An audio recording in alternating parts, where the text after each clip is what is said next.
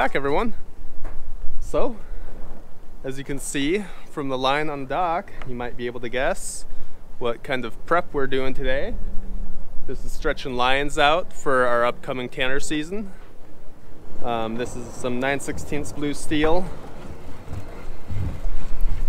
We built this uh, this holder contraption yesterday, or day before yesterday actually.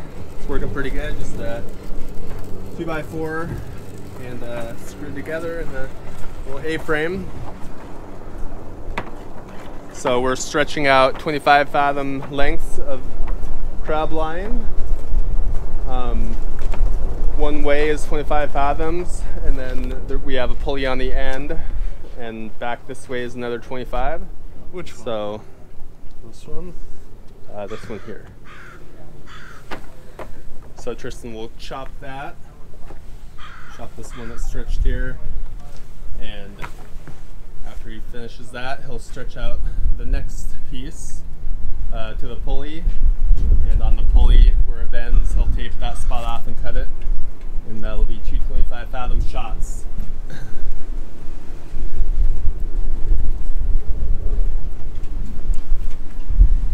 Still fairly early, uh, well, in the winter, I guess. Um, not too cold out yet, so it's a good time to get this kind of gear work done, the outside stuff. We've had a couple of years where we've stretched line out in the uh, in the blizzards. So while I do enjoy that kind of fun, I do enjoy not doing it just as much. so so it's nice to get it done early on.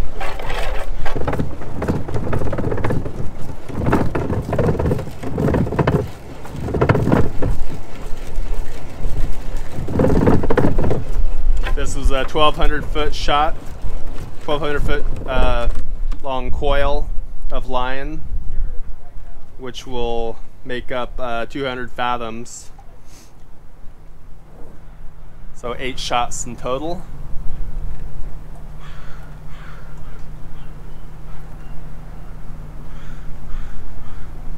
Go see what Tristan's doing on this end.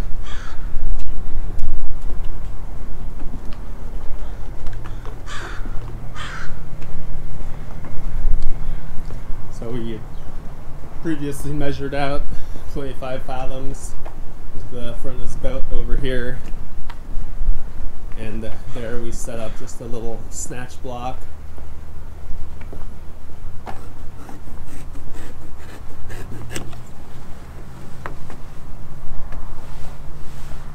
Coin. Hey, hey!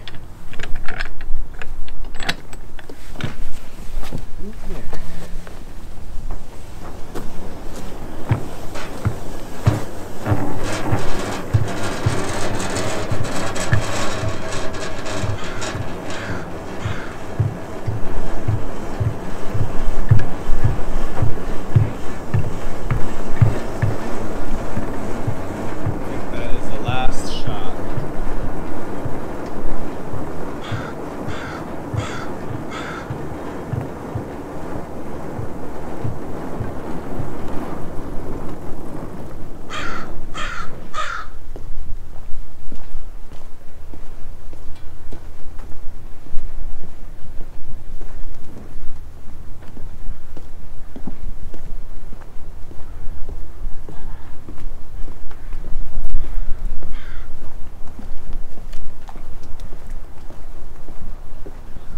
A little bit extra on the coil this time, or on the spool rather. Last time we opted to make them a foot longer and actually came up short on one shot, which is a little bit annoying, but that's how it goes. Maybe we'll tack this on there. We'll see. It's pretty hard stuff to splice. We have a different plan for it too. Um, using this blue steel as bridles for our new buoys for for our pots so um, it all works out in the end I suppose.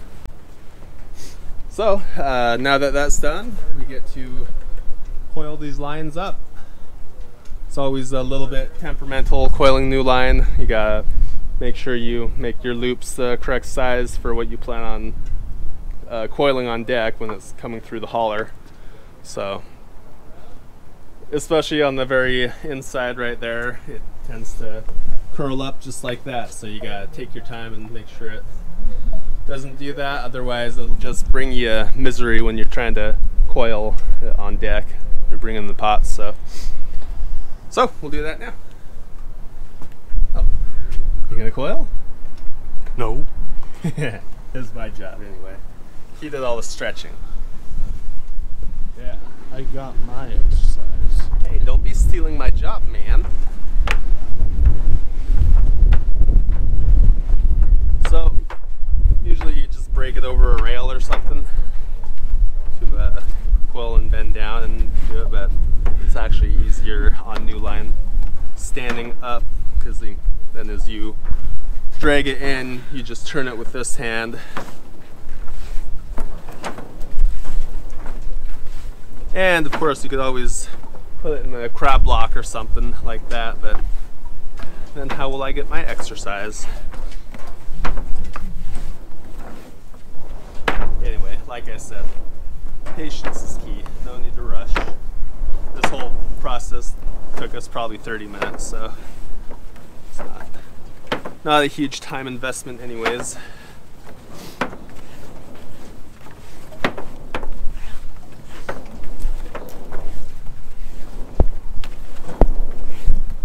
Now, if you were doing 50 fathom shots, that might be a different story because there'd actually be a little bit of friction, friction going down the dock. That would be the real workout. Yep.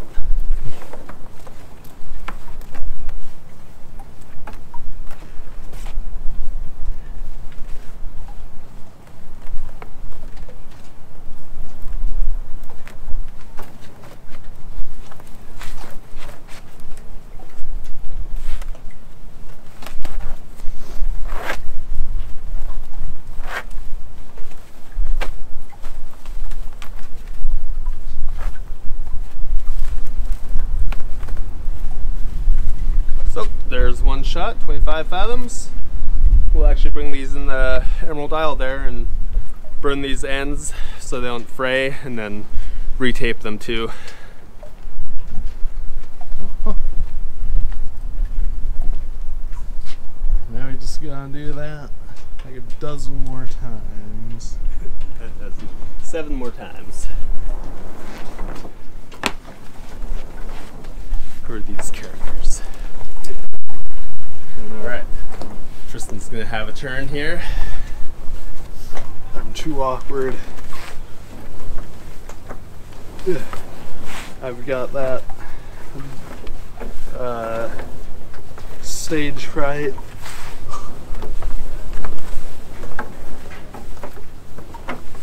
A little bit smaller actually.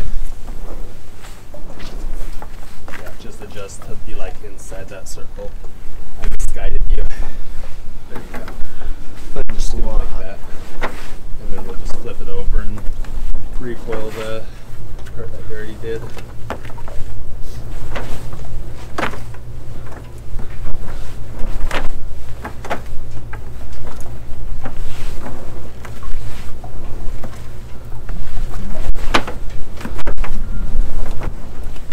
You got this.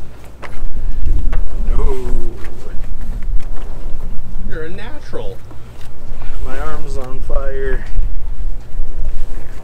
Well, there's no question if if it's an awkward position.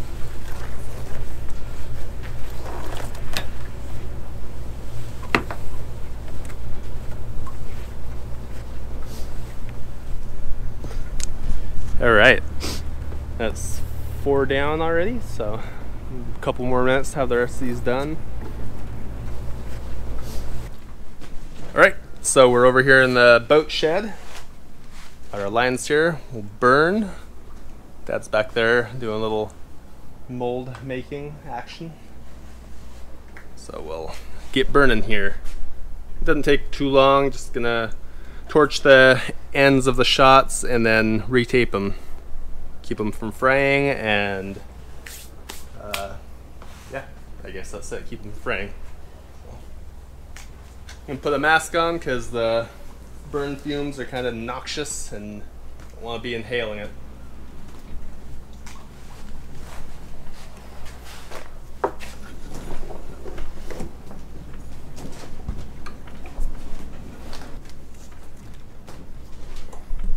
By the way, if you've been following along on the boat build so far, you know that this mold here, this form has been used many times, and now it seems it's found yet another purpose, and that's to hold line.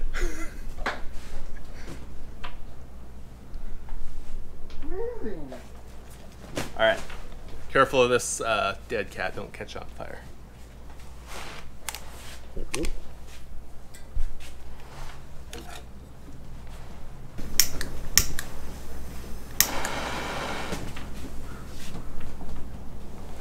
Just torch it up. Mm. Higher. Higher! Yeah! So I'll just burn the ends like that, and I have just a T-square ruler here to round the edges off so they don't stick out all jagged like. Do that, and then take some black electrical tape.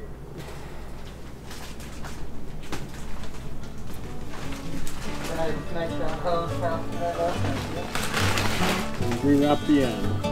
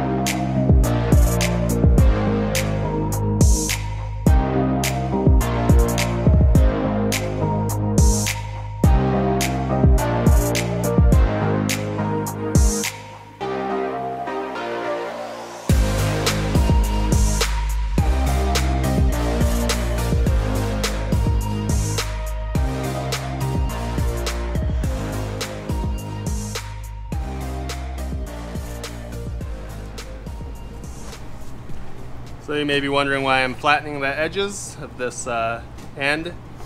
They tend to mushroom when they get burnt like that, so uh, keep it from poking holes in the tape. Makes it easier to tape uh, afterwards.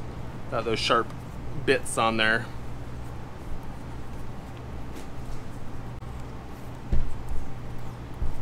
Just two wraps and it's good.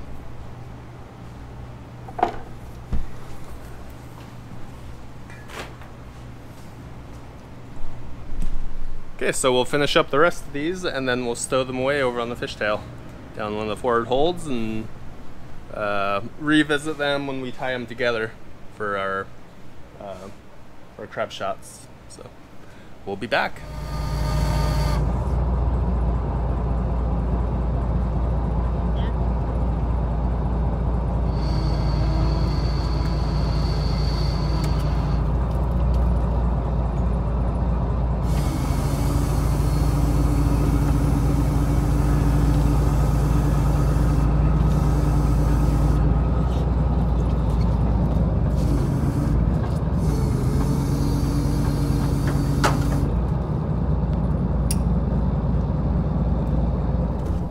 Hello everyone. Hi, everybody. Welcome back to EIS Alaska. Well, it's a beautiful morning. We're out on the Tanner grounds and uh, we're going to start fishing today. We actually set our gear yesterday at noon after about a two week stand down as we negotiated better prices with the processors. And, uh, and now everybody's got gear in the water and we're all starting to fish. Yeah, it was a bit of a hectic scramble as usual, so didn't really get to film launching the pots, but uh, we will film today of hopefully picking some good pots. We had a couple of uh, test picks yesterday, and it's looking promising. Yeah, it looked pretty good, so we're excited to get out here. Um, as you can probably tell, we're on the little boat. Uh, we weren't able to get the Emerald Isle ready in time for the season, unfortunately. Um, we tried our hardest, but just didn't come together, so... Yeah, there's just a little bit too much to do on her, so... Yeah, yeah, things were pretty close, but the reality of it was we just wouldn't be ready. Um, even with the stand down, it, it bought us a little extra time, but it wasn't enough, so we just uh, put everything on the little boat. Um, we're only fishing 20 pots, that's all we had of the smaller cone style pots, so I guess we're at a bit of a disadvantage, but that's okay. Hmm Um, And- fishing's supposed to be good, so I guess relevant info on that uh, with a 5 million pound quota, uh, the pot limit's bumped up to 30. And that's just for this year, probably, so, well, definitely. yeah. so, I um, mean, folks that are, have been following along and, and we've gotten a lot of questions about it actually too is uh, is if we would have a tanner season here um, yes we do so Alaska is divided up into different management areas regions and the area that's closed is the Bering Sea uh, the Bering Sea region. And so that's that's managed separately from the Kodiak area. Completely different stocks completely different quota. And so that's why we have a fishery this year. It's actually the biggest uh, GHL or guideline harvest level that we've had um, since uh, late 80s, and so it's a, it's a big quota that we're working on here, and uh, so we're excited about that. So anytime the uh, I think it's four million pounds, anytime the quota exceeds four million pounds, they'll bump it up to a 30 pot limit instead of a 20. So that's where we're at this year. Is 30 pots are allowed per vessel to be fished. hmm and um, is that just an effort to get the crab caught quicker without, I believe so. with less impact to juveniles? Yeah, yeah. There's a few different, you know, there's efficiency factors that come into play as far as um, catch rates for vessels. Uh, it allows guys to harvest the crab quicker, to get it to market quicker, and go on to other fisheries. At any rate, uh, yeah. So we just have the 20 pots. Uh, we pulled one yesterday. It had a three and a half hour soak on it. Uh, 77 nice big crab. So we're excited to get over there again. Um, unfortunately, there's a lot of current there, and it's uh, it pulled down a couple of pots. So we're hoping that uh, the buoys will be there at slack and we can get them and Mhm. get them on board. It's really a bummer because there's crab there. There's a lot Mhm. of crab there. Um, we'll just have to see what happens. We might end up bringing most of the gear back up into the bay or fish some areas over there that hopefully don't have as much current. So uh, we're not too worried about losing the pots. Um, we can drag for them. And uh, one thing about the other ones that were actually down, just the trailer was was sticking up. They didn't move an inch. They're they're right where they should be. So I'm confident that the pots are there and that we'll get them back. Fingers crossed. Anyways. Yep. Um, yeah, gear loss is a bummer. it does happen, unfortunately, um, to everybody at some point. and so we'll just have to see what happens. Uh, we do have uh, we do have biodegradable panels on on the pots, so in the event that you do lose a pot, there's uh, cotton twine sewn in to some of the meshes that will rot away after not even a month and uh, open that panel up and allow those crab to escape. So um, the impact to the environment isn't that bad. But uh, it'll have a big impact on our fishing if we don't get them back.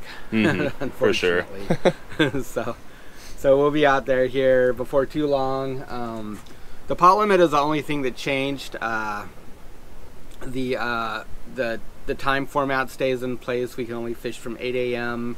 to 6 p.m. That's the only time you can operate gear. That includes pulling gear and setting gear off your vessel. So if you don't have your gear in the water by 6 p.m., you gotta wait till the next morning. Um, we got three of our pots back yesterday afternoon and, and ran them up into the bay and dumped them off about 5:30, and uh, and then we just came over to this nice peaceful little spot and anchored up with a couple other guys. Yeah, it was a nice night. Yeah, yeah, it was very nice. So our first pot's just right around the corner. It's about 20 minutes away. We'll fire up here after too long and uh, grind up a little bait and hmm go Get see ready what for we our day. have. We're just gonna kind of spot check a couple on the way out the bay, try and get an idea what's here in case we need to bring some gear back in here. Hopefully, we'll have a better idea of where to put it, and um, see just see what happens. Yeah. I'm excited for today. Yeah, we're not sure how long this this fishery is gonna last. Um, if guys are on crab like that pot yesterday, it could go pretty darn quick. hmm Um, guys fishing big square pots, I'm, I'm guessing that that would probably be a, a 300 crab pot overnight or maybe more. Yeah. Yeah, easily, huh? Yeah. Um, So, there's there's a lot of crab out here, so Maybe we'll once see. the once the big biomasses get scooped up, it, I suppose it goes more into a slow fishery. yeah, it'll slow down a little bit. The first couple of days is is what really a lot of crab will come on um, today and tomorrow and probably the next day. hmm and so we'll see where we stand there. The forecast is really good. We've got good weather. Um, it's Tuesday now, and uh, we've got good weather through Friday.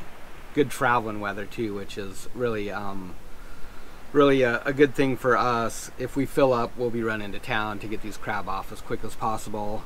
Um, once the line starts to form in town, then it's really going to slow things down. That could determine the pace of the fishery, Mhm. honestly. If it doesn't close right away, um, guys are going to be in town and there's going to be a, a line and it, it could be days before you get your crab off at that point and, and that'll slow down the pace of the fishery uh, it might stretch it out. So it kind of just depends on the holding capacity of the fleet i think Mhm. and also just how quickly things go in the first couple of days. For us our game plan is to get enough crab on board that we feel comfortable running home get in before it gets stormy and get back out. And and that's our game plan. And so hopefully we have a couple of good days and we get fairly well filled up and we'll dash home. Hmm i guess we're probably about eight hours from town. About eight hours from Yeah, town. thereabouts. yeah. Yeah. So yeah.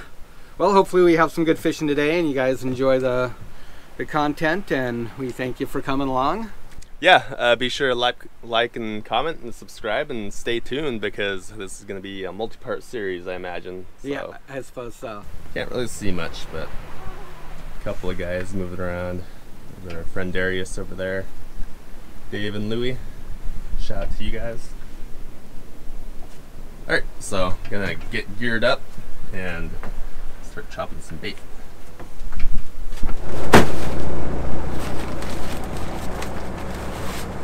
What's going on out here?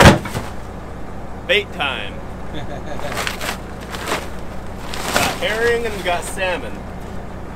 Herring must have been kind of cleaned out or something. We usually have some like sardines or saury to kind of mix in, but herring are good. We got good scent. Used to have some nice codfish for hanging bait. Yeah. What's this wonderful thing right here, Tristan? That would be a bait chopper. What happens if you don't have one? You have to chop it all by hand. and it's cold and exhausting. A big cleaver. and- hmm. For about an hour, we heard some of these other boats cleaving away this morning. One of these guys over here, you can hear the distinct echo. chunk, chunk, chunk, chunk, Yeah, so this is basically just a rotating drum. It's got little, uh, oh, you probably can't see in there, but it's got little cup shapes. Oh, yes, of course. It's got little cup shapes on there that uh, gouge the bait just driven by a hydraulic motor. This is kind of the old school cheese grater type bait chopper they call them. Um, they make better ones now, but this was a freebie for us. So we just uh, we got it from a friend and just rehabilitated it. Put a little bit of money into it. Still works really good. Yeah. Um, so it's got a, a door on it right here, Matt closes, and the bait that gets sucked past it and doesn't get gouged out by the cups and fall into the inner drum here, they just build up on the outside here. Eventually they'll just kind of get full and it won't suck bait through and not grind it. And then any big chunks pass through, you can just kind of toss them back inside.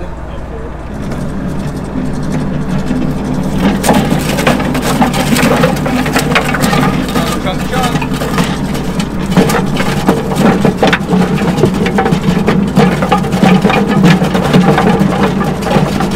Use frozen bait.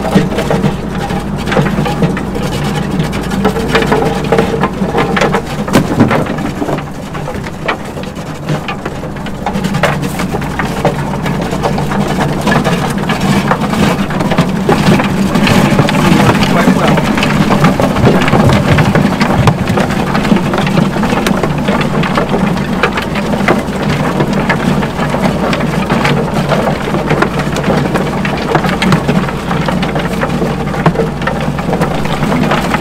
If there's any big chunks there, I can just grab them and throw them back in there again. Pulls out nice scoops, just like that. Where are you aiming? Down here.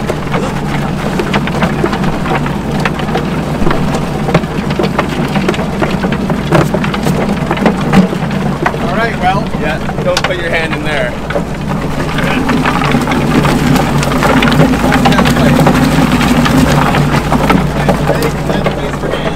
So you got some salmon to mix in too.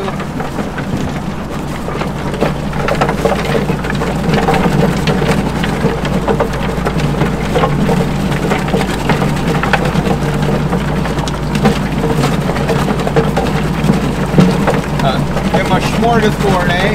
Yeah. Okay, guys, shall we get going? Yeah, let's do it. Hopefully, there's some crabs around here. Hope so. Yeah. Want to see brimming pots. Yeah. So we're up in the bay right now. There's a lot of effort up here.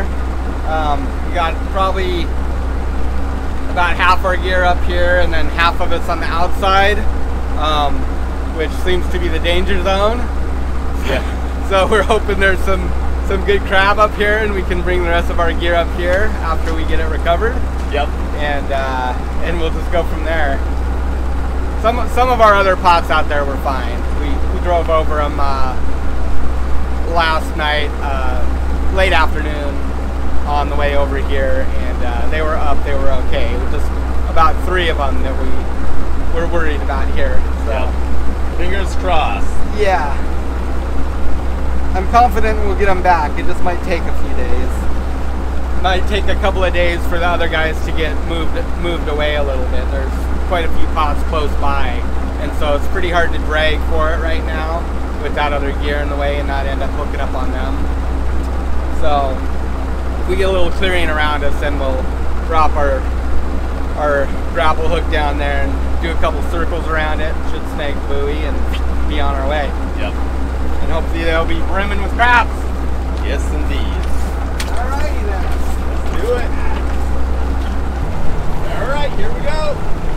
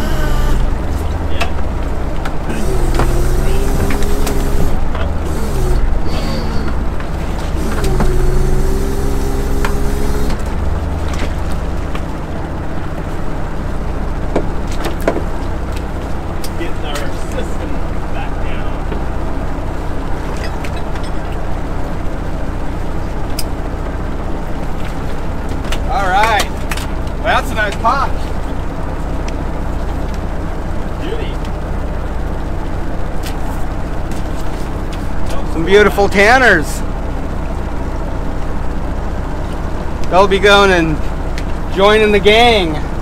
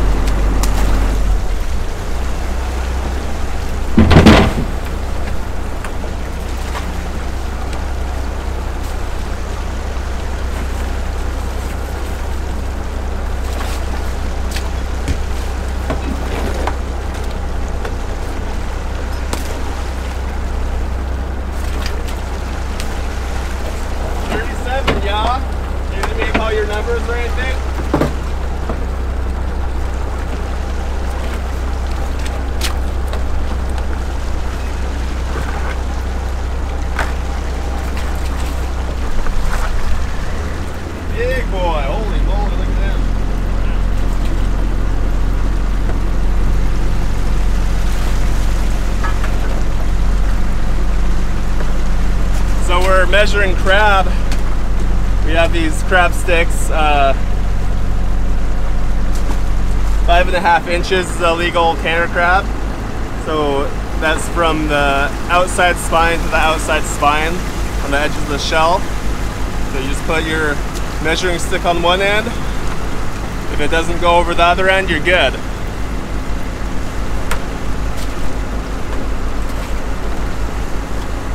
Like this one, obviously it'd be a uh, undersized crab because it doesn't hit.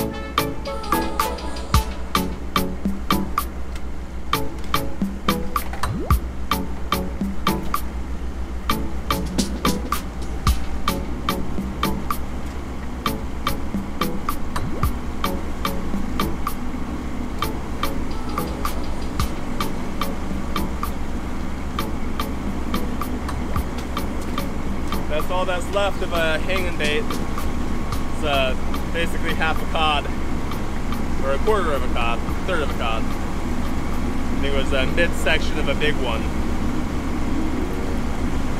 Much skin and bones.